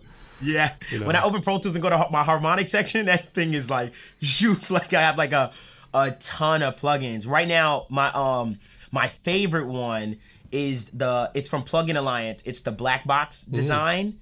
Uh HG, I think it's the HG two. My man, when I mean that thing is dangerous, that is a dangerous little saturation plug. That's my favorite one right now. Like that one is just it's monstrous. I, I don't I don't get it. It's literally it's so great that I looked into buying the actual hardware. I was like, if the plugins, I want to, you know, I've, I've been looking at that for hardware, probably, you know, in the future and stuff like that. I've been really looking at that piece of hardware. I, that is one I haven't played with yet, so this is why I'm ah. thankful to talking to you today. I'm going to check it out immediately. Yes. You know, anything you And let me know how you feel. Like, Yeah. I want you to try it out, and I want you to get back to me. I really want you to get back to me on that one, seriously, 100%. because I want to know how you feel. Yeah. yeah, hundred percent. I will check that out. But it brings up a good question. You're talking about buying this this analog unit, Yeah. but Yeah. but Uh huh. but is digital getting to the place? Now we said for a long time digital sounds different. We've Right. even had a lot of people that say digital sounds better, cleaner, Uh huh. Right. right? Right. Right. And then we always have people who say, but the analog sound. right. But are algorithms getting so good with digital products creating the analog sound that it's almost out analoging analog? Mm, that's in, that's an interesting one. You know what? I, you know what I'll say to you? I'll say when it comes to efficiency, right? To de- now with all the technology, I think from an efficiency standpoint, digital is is running at 80 miles an hour, like with- against analog. So let's say, for instance, we look at analog in the race, we look at digital in the race. I'll say analog is up here, but man, that digital is it is it's gaining speed. Um, and a, a big reason I can say is, for instance, we can look at something like Pro Tools. Pro Tools has that heat function I don't know if you know about that, that heat function where basically they have like this console kind of style emulation on every single track that you just flick on and it gives like this analog kind of saturated sound to every single track. And it's them kind of trying to emulate to my brain like an analog board. And when you put that thing on, it's like, whoa, like it, you notice a difference, you know what I mean, in that sound where they kind of unsterilize. Um, it's kind of like it's unsterilizing every track. So I think with things like that, I think we're starting to see where digital is like, oh, we're starting to figure out why we love analog so much. It's those nuances, it's that saturation, it's the difference, you know, in all of our tracks and things of that nature. I think a lot of people don't know this about there's a program called Luna from U- from Universal Audio. And Luna, no one's talking about this, but they have basically it's not really a DAW as they've explained it to me, but it's more of a multi-track recorder. Mm-hmm. And basically every track you can throw on a Studer uh Studer tape. You can throw on um you know console emulations for every single track as soon as you import. So they're kind of even dipping into the place of Luna's more of a board. It's it's a board, you know, Yeah. a digital board that has saturation and gives you that feeling. So I think we're starting to, our industry is starting to figure out what we want from analog to bring into that digital space and have that convenience and that efficiency. I think we're we're headed in that direction. I think digital is gaining, you know, some ground for sure now. Five years ago, I never thought I'd be having this conversation because I'm an absolute analog gearhead. Love all that stuff.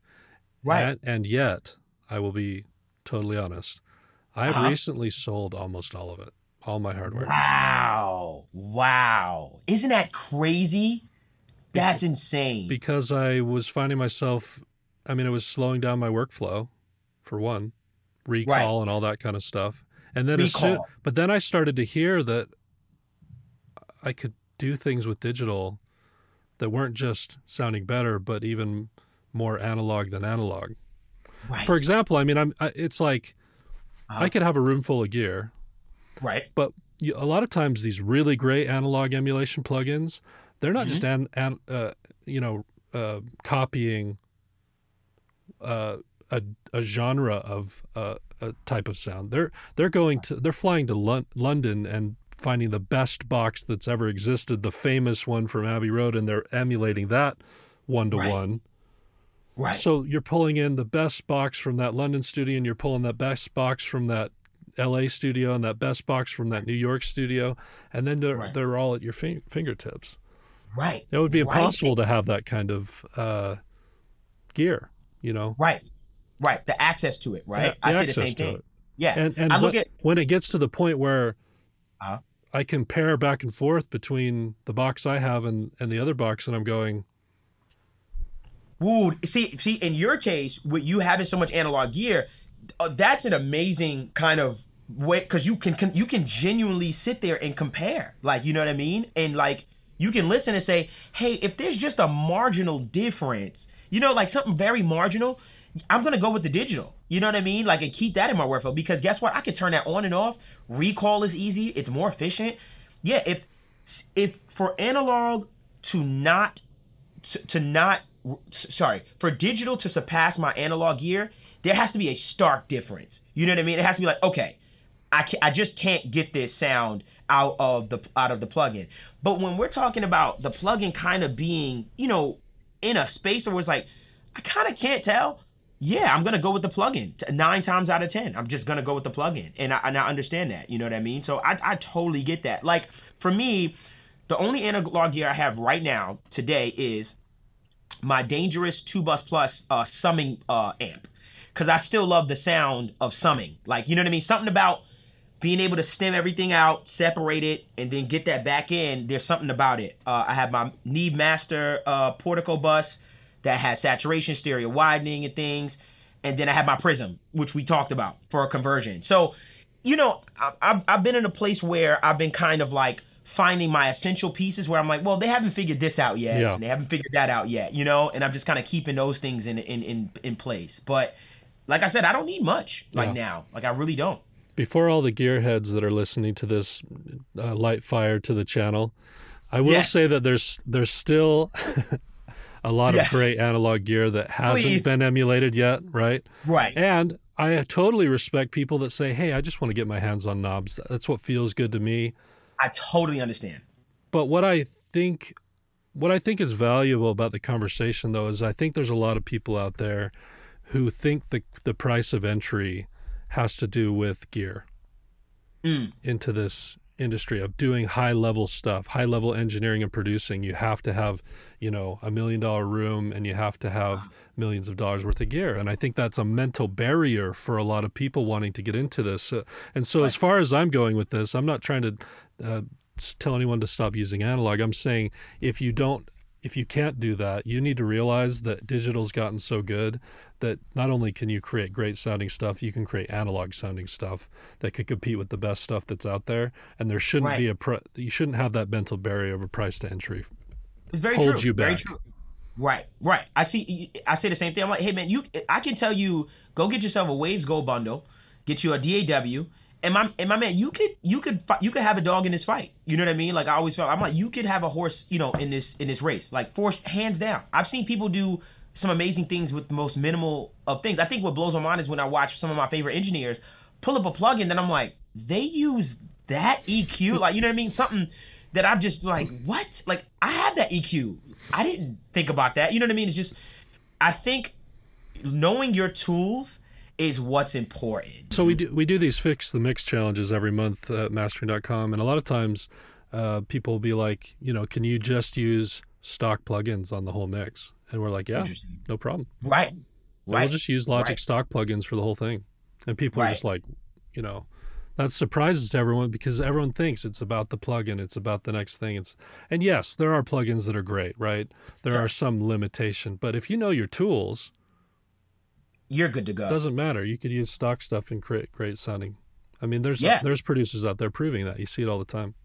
Oh yeah, Uh, you know when I when I watch uh for instance one of my favorite mix engineers when I watch Leslie Brass, Brathwaite mix and I see him pop open the stock Pro Tools EQ, I'm always like, what? I'm just I I mean when I first saw him do it, I was like, is that this? What is he doing? And it sounds great. I see him using it on a Drake vocal. You know, it's like, bro, what? You, what? So you know that taught me. You know, I I add plugins to my arsenal, but I'm very intentional with what I add. You know what I mean? Where I'm like, I'm looking for something. I'm not. I, I'm not really looking for replacements unless they really make something groundbreaking. Where it's like, oh no, that's a new EQ style that I think could work for my workflow. I, I ask myself why I buy these things. You know what I mean? Like I'm always looking for certain things to add to my workflow. So, you know, when it comes to saturation plugins, that's my big ones. Where I'm like, oh, this right here, you know, DAWs haven't really nailed the stock saturation plugins too well. So that's been something that's been very third party for me um, as of right now. Yeah, there are a few. Yeah. there are a few plugins that are beyond stock for me that I'm that I get geeky about that are pretty great. Yeah. Yeah. Um, yeah. You know, Logic, I always say, I feel like Logic has the best stock plugins uh, out there. And I'm a Pro Tools user, so that, you know, that's saying something. I feel like there's a EQ you guys have that I wish I can get in other DAWs. It's like, um, uh, where you could change the EQ to like a two B, to a tube EQ. It's like a three in one EQ. Where you can change it to tube. You can change it to like a solid state. That EQ is ridiculous. Like that's a good EQ. I've used it. It, look it looks like a SSL kind of vibe, like kind of plug-in, but it is good. Like I tell people that all the time, like yo, bro, you have a incredible EQ over there that you no one's you you know you don't Yeah. know about it. Like it's really good. yeah, and then they have that Pultec clone too. Yes, That sounds yeah. really good as well. And even the Yeah. stock EQ, I use it all the time. Oh yeah, yeah. The regular linear EQ or the regular stock. Yeah, it's it's you have a you guys have really good plugins, like really really good plugin stock. It's really powerful for those uh, people that get on these fix the mix challenges though to see, and and we make the mix by the end of the three day challenge. We make we we do, we do a mix from start to finish, and we show them by the end of it it's competitive with industry standard stuff, and and then they look at it and they realize you know that's pretty much Logic stock plugins there. Hey, right. It it was done mostly in stock stuff. And it's just like, oh, okay, I do need to learn, you know, the fundamentals of this stuff. Because if he did it with stock stuff, I mean, he did it for free, basically. You know, he did it for with the with just his DAW. Now, I, I try to preach that too, and I'm glad you guys are actually kind of showing people that as well. That it's not about that; it's about your skill level. You know. Yeah, I think there's two voices that we're really trying to combat that we see are mentally limiting people. One is the voice that it's that we've already talked about, which is things can be done quickly, that you can get to that high level, that you could be Kanye tomorrow if you just get the right plugin or get the right preset or whatever Right. whatever else it is. Five tips to do this, three tips to do that, and you're following this Right. this path of all that, and you and you think that that's going to get you there. So we're we're co- competing against that voice, saying no, it's actually there's a lot of hard work that's going to go into this. Like Yeah. you know, Yeah. no, no one learns to make samurai swords uh, by watching YouTube videos, right? And no one's going to learn to be a wizard or a ninja when it comes to sonic stuff unless you put the time in. And most people aren't even working in rooms that are accurate for, for you know, like how can you Yeah, even I- begin to do ear training? And if you aren't doing ear training, how can you even begin to use the tools properly? And so it's this cascading effect of a lot of foundational stuff missing. And then the other thing that we're like competing against is the other voice, which is saying again the price of entry is Yeah. too much. You have to have all this stuff. You have to have all this gear to do great stuff. Well, no. I mean, you see uh, Finneas and Billie Eilish doing stuff in the in the Oh. bedroom, and they're doing stuff that no one else has heard before, and they're using like cheap and free and stock plugins and, and Yeah. a lot of that stuff, and they're winning seven Grammys. So it's like, let's get Yeah. rid of those two mindsets. Let's get back to hard work, but then Yeah. say, yes, I can. I'm ready to disrupt in the industry, and just say, hey, you know, I, I can do Right. this. I have the the uh, creative power. I have this energy. I just need to found it with the technical understanding, and I could really set myself Yeah. free. Yeah, it'll take you way further understanding it as opposed instead of paying two thousand dollars for a hardware compressor, you could pay two thousand dollars and you know getting it taught. You know what I mean? If, if it's cheaper than that probably. You know what I mean in that regard. So it's like yo, if, spend the money in in education is what I say. Spend the money in educating yourself as opposed to just going out and buying the tools. You know, I can give, I can give um, you know, a, a entry level guitar player a a Les Paul, like a three thousand dollar guitar, and then I can give a, a expert, you know, a little, you know, cheaper little guitar, and at the end of the day, man, you know, who's gonna show up? Who? You know what I mean? That's what I say. I, we've seen these YouTube videos online where. In the video world, where you get like thirty thousand dollar camera with a noob versus a five hundred dollar camera with an expert, and that expert murders that noob every time, you know, because he knows how to color grade, he knows how to use the tools, like so you know, I see that as a duality in our community too, where it's like, hey man, I can give you all the plugins, all the hardware, put you in a million dollar studio, but me in my little room, I'm gonna I'm gonna destroy. You know what I mean? Like that guy in a little room might destroy you, dude. So it's just like you got to kind of play that world and understand why. You know what I mean? That exists and why that fundamentals is so important, man. Yeah, I totally agree. Totally Yeah. agree. You've uh, you've come in and worked with our students in regard to two things this last month. That's been really cool. You've done a deep dive into EQ. You've done a deep dive into compression. Uh, it seems in talking with you that you've had some revelations recently about EQ use and compression use. Your mind's a bit on fire about each of those. Um, starting with EQ, what is it that you've been diving into? What what has changed recently for you in the way that you use it? Anything really special that you've uncovered? Yeah, um, you know, f- filtering, um, filter types has been something that's been really uh like been such a monumental thing for me as of recently. Like instead of doing like these hard cuts as far as slope as far as hard slopes like low cuts and things of that nature, I found that shelving and changing the EQ type really changes the, the characteristics uh, of the EQ as far as the sound of it.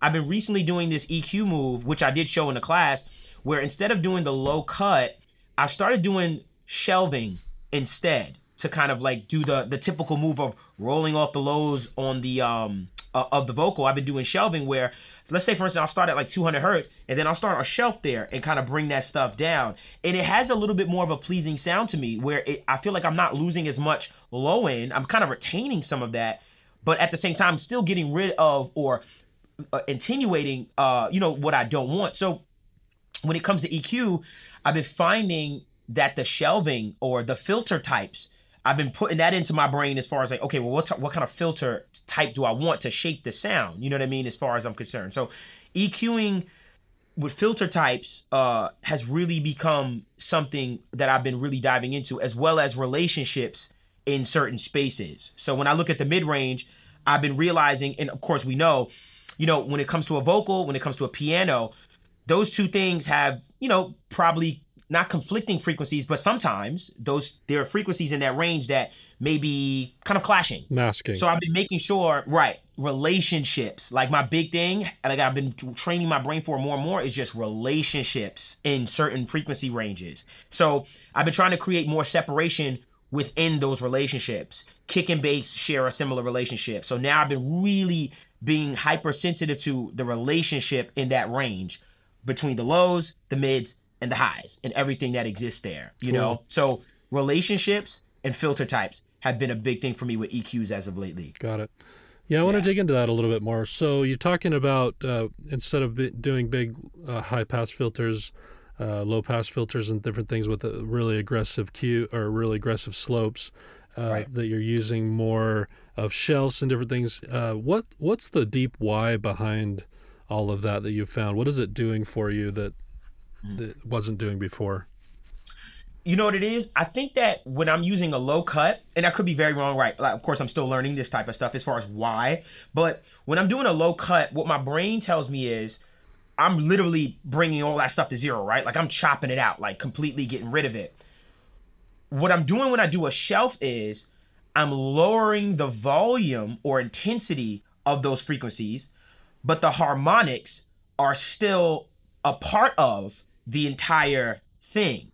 So what I'm real and this is how see me learning about the saturation and harmonics is kind of coming full circle for me because I'm realizing that sometimes even if you even if you add let's say harmonics or you boost 30,000 hertz on some EQs, right? Like that really high stuff you can't hear, we notice a difference coming down. Like every move you make with an EQ has an overall effect with the phase and and how things shift.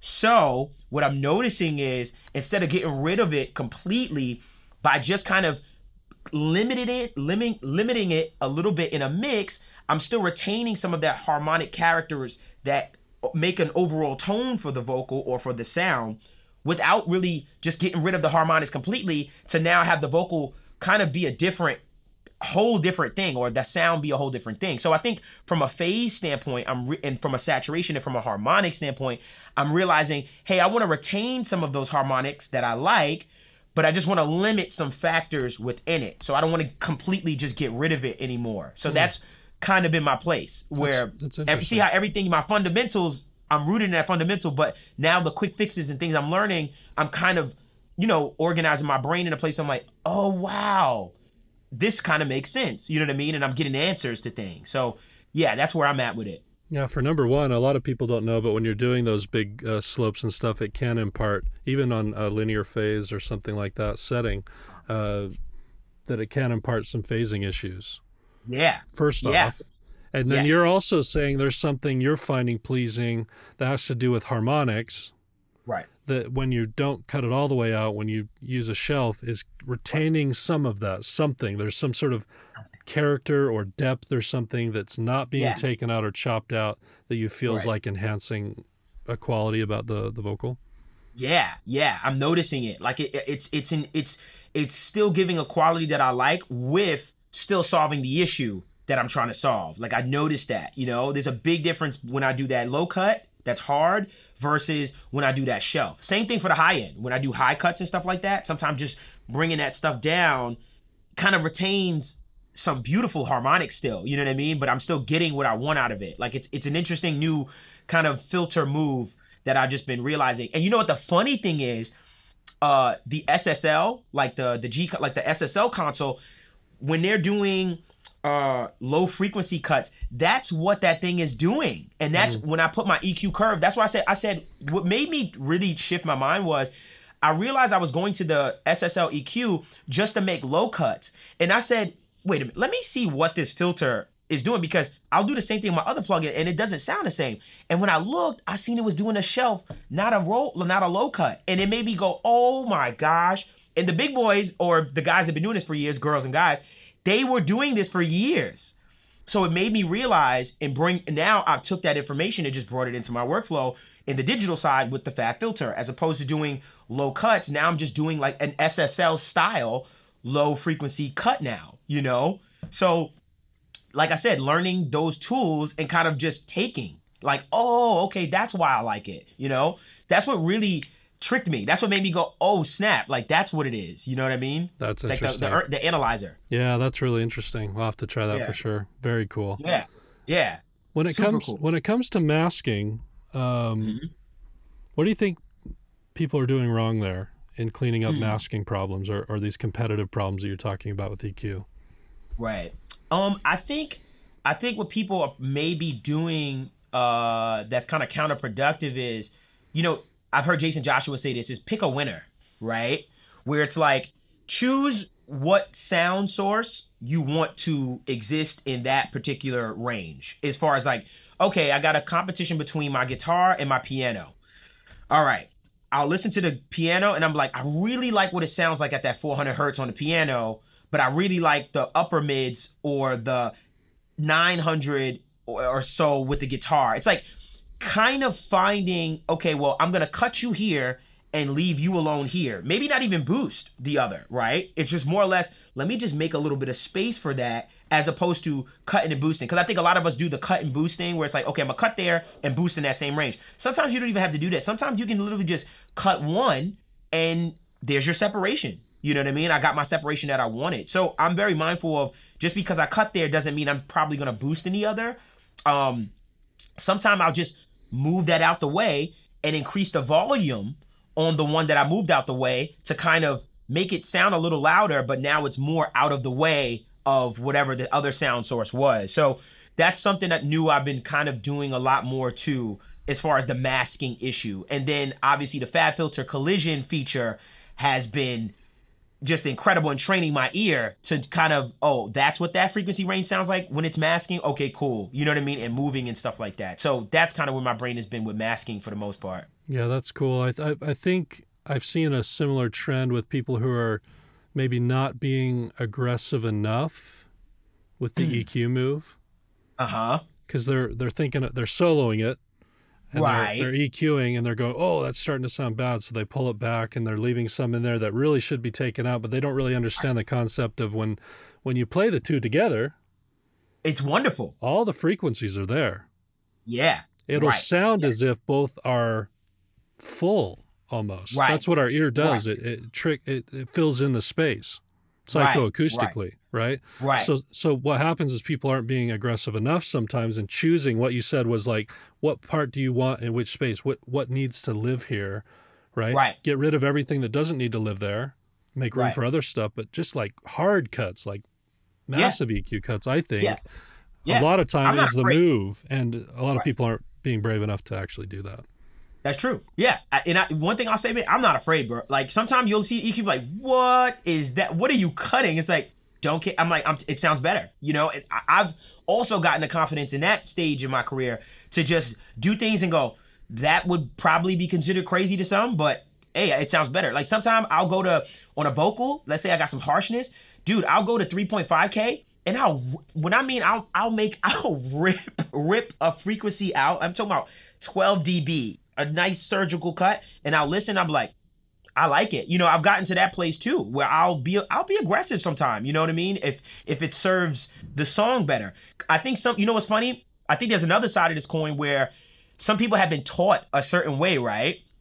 And they get very stuck in the way that that's not how you're supposed to do that. You know what I mean? Like I, I you're not supposed to make these big cuts like that. You're supposed to kind of leave the naturalness. I'm like, I hear you, but in some cases and scenarios, if it sounds better, my man, I'm going that direction. You know what I mean? To me, if it's if it feels better, then I just did something unorthodox and it is what it is. You know what I mean? Like I'm very big on that too. So I think you're right in that regard where it's like, you know, sometimes you're not aggressive enough, you know? Which I don't think people hear. I don't think people hear that enough.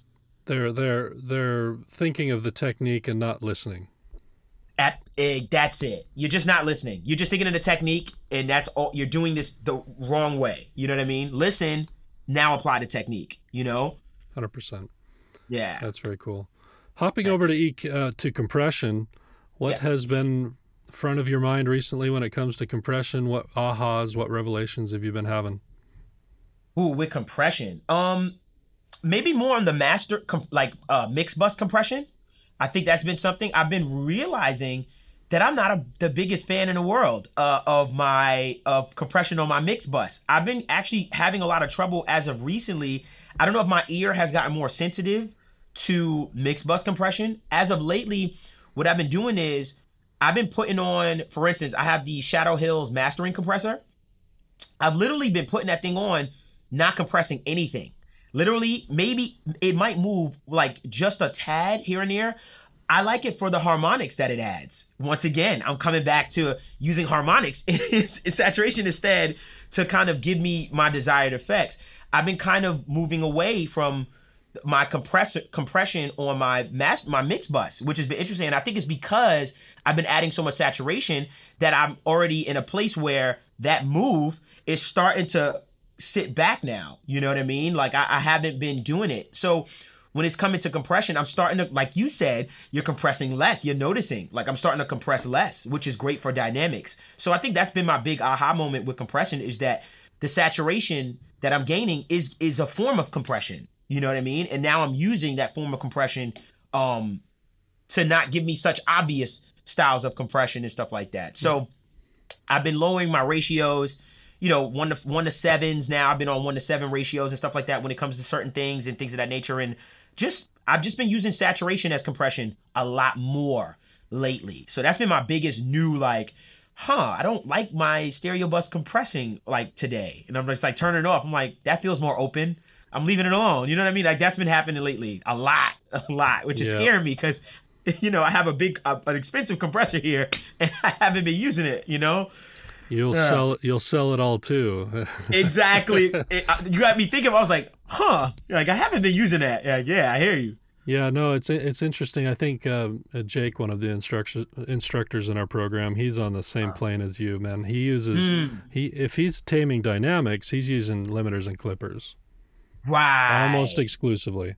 Uh, Right. For him, compression is only pulled out when you really need uh, a very nuanced thing to happen, because then you have control over a lot more knobs and different things, or for character. Yeah. Right. Like I've been using for my Shadow Hill, just color. Yeah. Yeah. I use hear the same plugin, and I and I very and I, you maybe kiss it a little bit, you know, and, and I'm Yeah. talking about mastering, right? Yeah, yeah. Just a, t- just a, you know, just a little. Like I've been doing that, like just a little bit, and then I've been like, okay, I'm cool. You know, barely compression. But limiters and clippers are much more effective if you just want to tame transients Yeah, and clamp down. yeah, It's easier to get to. It's quicker to get to. It's like usually one or two knobs on a compressor, or sorry, Yeah. on a limiter or a clipper. right, uh, right. And, and then the other, you know, the, the the compressors have a lot more features. So save those for when it's nuanced. But yeah, I, I totally agree. It's Yeah. it's interesting. Compression's Yeah. kind of especially with as we said saturation becoming more prevalent and, and better analog saturation doing the Yeah. compression because it is comp- like they're compre- it's compressing Yeah, yeah. a lot yeah. of those tape I, I emulations and, and saturators they're Yeah. compressing right so Yeah. and and it's using it as a compressor and it's using it for color and it's using it in the same way we'd want to use a compressor anyway it's just doing it kind of more naturally sounding or something like that Yeah, it's it, it it's it's like this. The compression from the saturation is more engaging with the actual material. Like it, every every piece that every sound source that comes into that saturation, it reacts different, and it surprises me. Sometimes I'm like, oh wow, it tamed the highs and it smoothed out the you know the mid range and and stuff like that. That's kind of like multi. You know, if I think about multi band compression, then yeah, I, I'll be honest with you. I've been also moving over to the multi band as like my final stage in my uh compression, you know, when it comes to certain instruments or sound sources a lot lately because I've been realizing that I'm using the multi-band compressor to really shape the tone, right? Where I'm like, okay, this vocal, I love how it sounds, but something's sticking out. And instead of going for an, a compression a compressor to compress the entire thing, I've been like, oh, it's just this range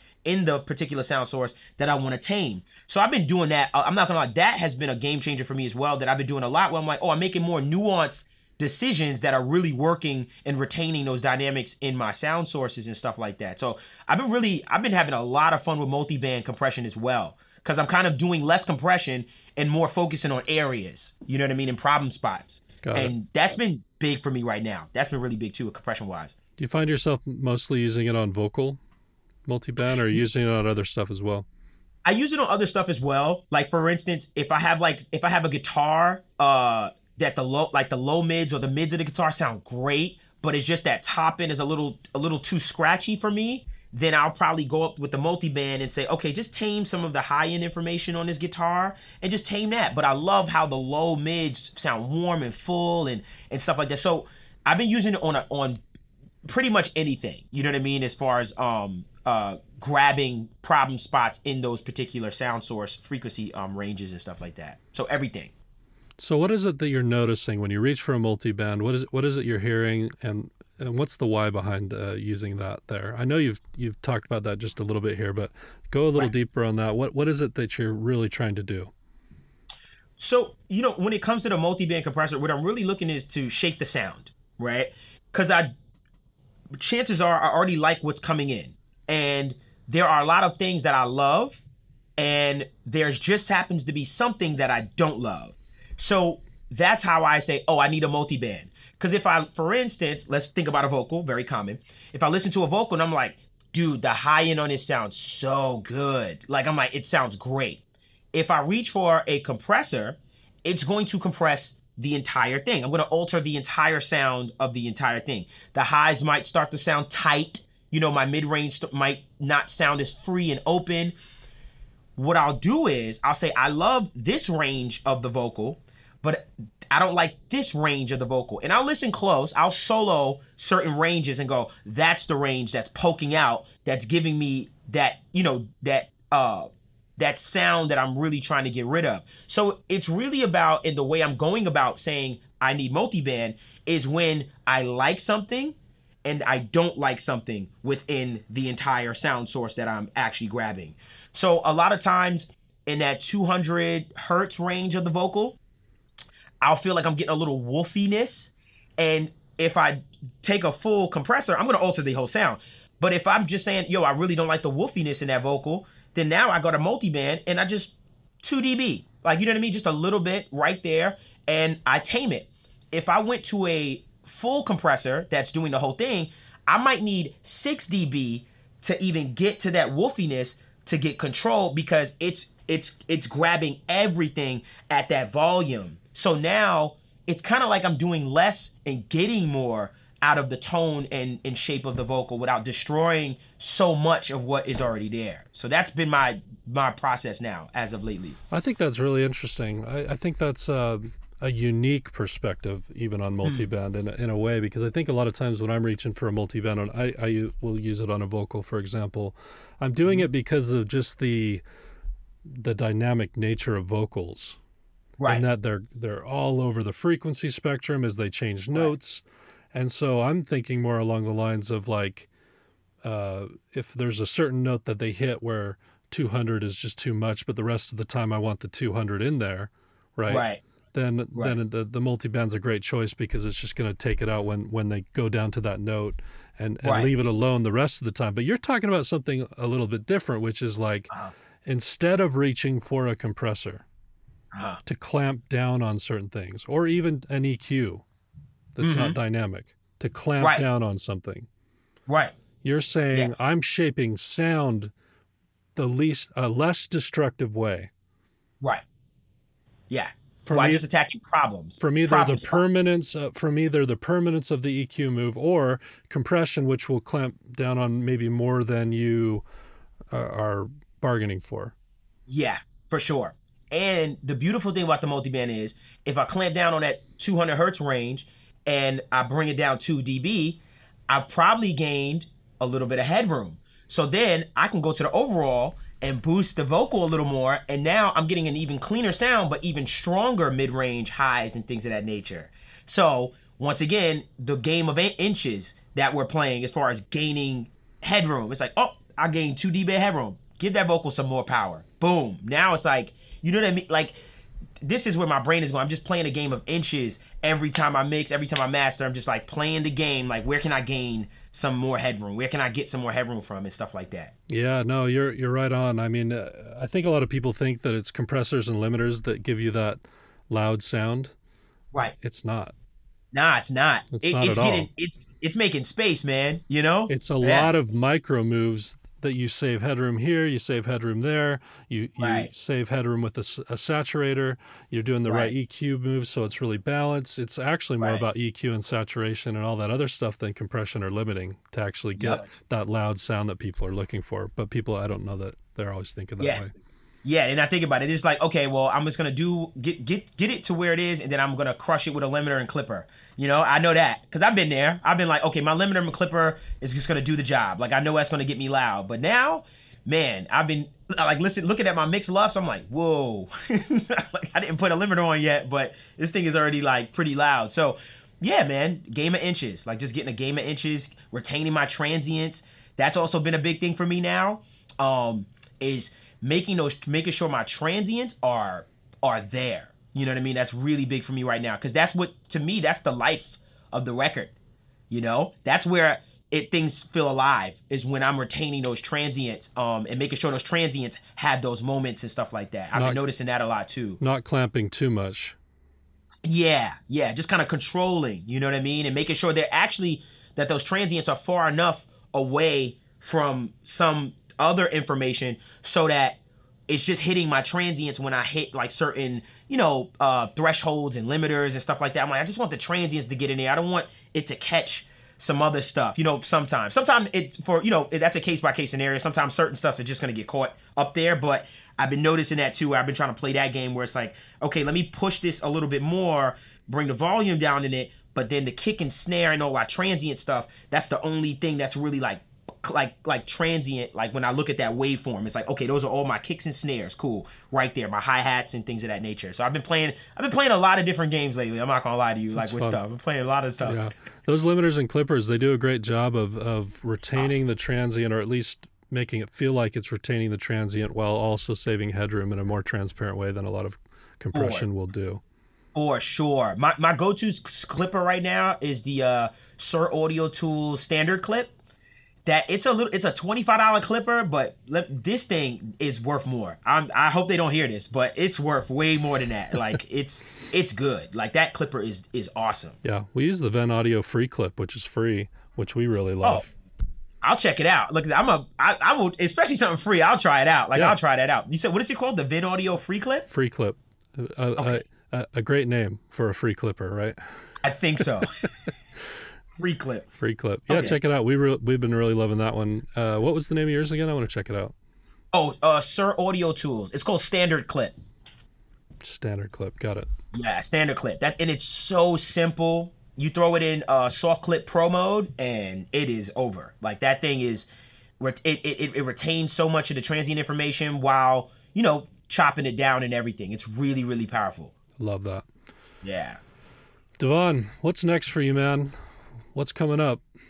Uh, uh, so, uh, you know, just, I've been really just having a lot of fun kind of creating plugin concepts and stuff like that. So right now, uh, you know, secretly, of course, we're working on another plugin, you know, and just kind of finding our place as kind of like this boutique plugin company right now where we're just like, we're not, we're, I don't think as a plugin company, my company is going to create plugins that are just like we do this better.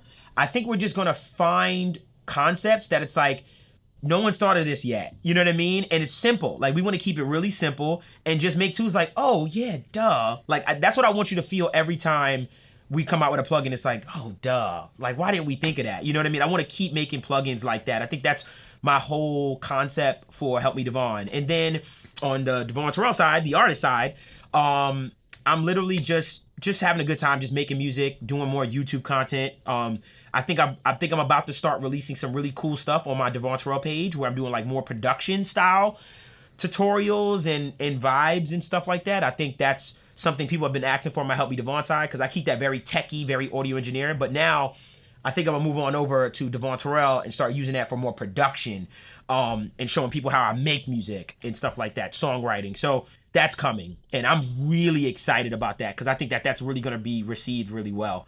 Um and that's really it. Going to NAMM in april which should be uh pretty fun We'll you see know? you. We'll see you there. uh, nice. You gonna be there? Yeah. great. You meet the team. That'd be great. I was hoping you guys would be there. Yeah. we'll be- perfect. So we'll, we'll be there. great. So uh i'll be there. We get this dog out. Come on. Go ahead.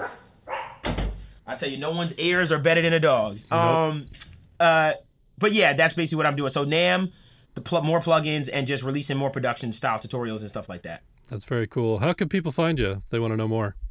yeah uh if you want to check out more of my audio style stuff you can go to at help me devvon on everything that's youtube uh, instagram uh, tiktok wherever you just type in help me devvon and if you want to do more or check out some of my artist stuff you can just at devvon uh, devvon terrell which is E d-e-v-v-o-n t-e-r-r-e-l-l double everything that works for also devvonterrell.com as well as helpmedevvon.com everything is clean everything is just what it is so if you're looking for audio guy help me devvon if you're looking for music guy devvon terrell on Love every it. platform It's been a pleasure, man. It's a really great conversation every time with you.